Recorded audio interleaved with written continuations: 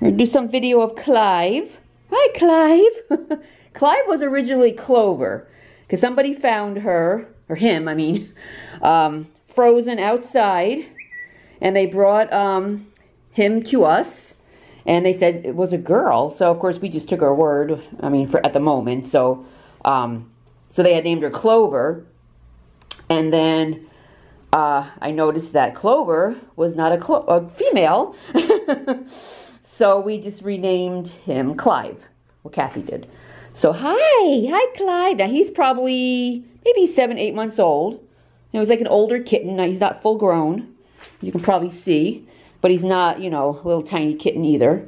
Very, very. I mean, somebody must have been feeding him outside or something because he's very, as you can see, very, very sociable. Yes, you are. You're very cute. You have like a little dot on your nose and I think a little dot on your chin.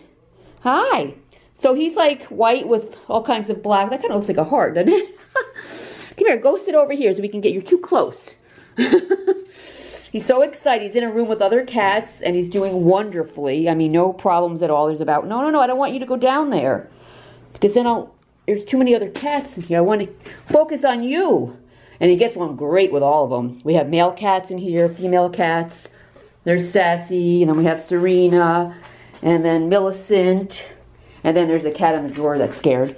What do you want to go down there and hang out with Serena? She's probably going to punch you for eating her treats. Yes, she is. You just want treats, huh? You want some treats? Here, I'll give you some up here. Come here. Come on. I'll give you some up here.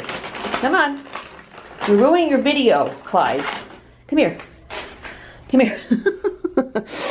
Come here. Is that what you wanted? Is that what you wanted? No? What do you want? Isn't he nice, though? He's so friendly. Yeah, that's kind of like a heart. Look. Yeah. Kind of. like a heart and maybe another heart. But as you can see, he's very, very extremely, um, just loves being around people and very, very friendly. So you have to come in and meet our Clive. Thanks. Come get him. Thanks for watching.